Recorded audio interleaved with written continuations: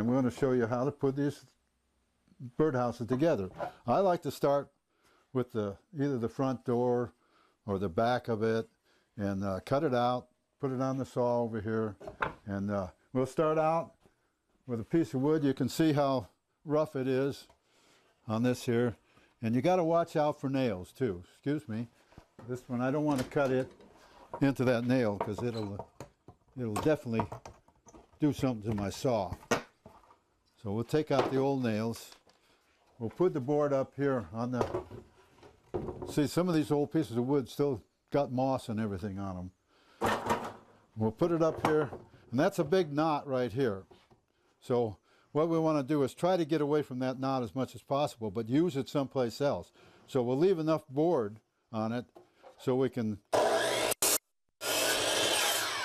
we'll use this piece of wood someplace else, maybe for the platform for the birdhouse, or, uh, or maybe another end to it, or a side piece.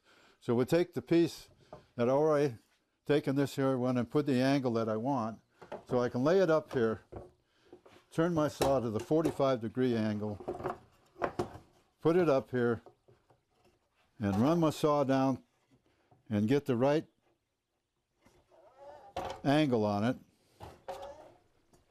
A little bit more. Okay. So we got half of the thing cut now. We'll turn it over and do the other side the same way.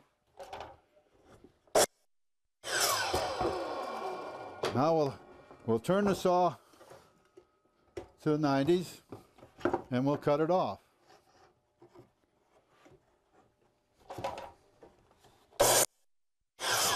Okay, now we've got the two ends. So now we'll go to the next segment. Okay?